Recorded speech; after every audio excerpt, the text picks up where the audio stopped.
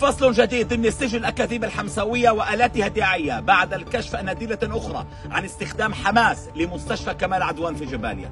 فهذه هي الاستراتيجية الحمساوية التي تقضي باستخدام المستشفيات لأغراض إرهابية وهذا ما حدث أيضا في مستشفى شفاء ورنتيسي والقدس.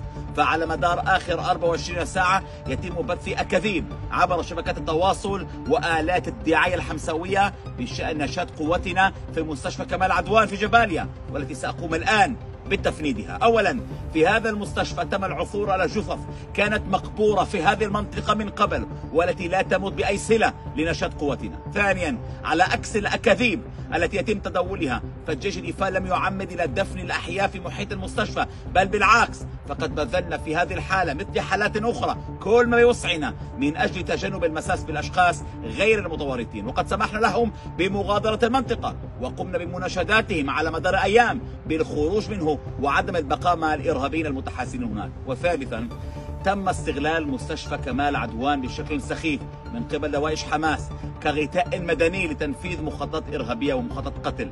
علما بأن حماس قد أدارت من محيط المستشفى أحد مقراتها القيادية. خلال نشاط اعتقلت قوتنا العشرات من العناصر الإرهابية رأيتموهم. مع الأسلحة يخرجون يستسلمون لقوتنا. العشرات منهم أيضا أولئك الذين شاركوا فعلا في مجزرة السابع من أكتوبر. وقد وجدنا داخل المستشفى وسائل قتالية تم تخبئتها في قسم الأطفال الرضع داخل قواضن والتي كان يفترض استخدامه لمعالجة الخدج. من أجل تبرير مزاعمها الكاذبة تبث أبواق الدعاية الحمسوية مقطع فيديو قديم.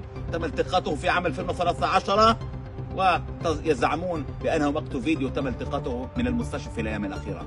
فأكذوبة هذه أكذوبة أخرى تدافن السجن الأكاذيب لا منتهية لحماس وأبواقها ونحن سنواصل كشف تلك الأكاذيب وكشف الوجه الحقيقي لحماس. هذا من جانب ومن جانب آخر سنواصل الضرب والتفكيك بنية حماس الإرهابية حيث لا تتمتع أي بنية تحتية تستخدمها حماس للإرهاب بأي حصانة.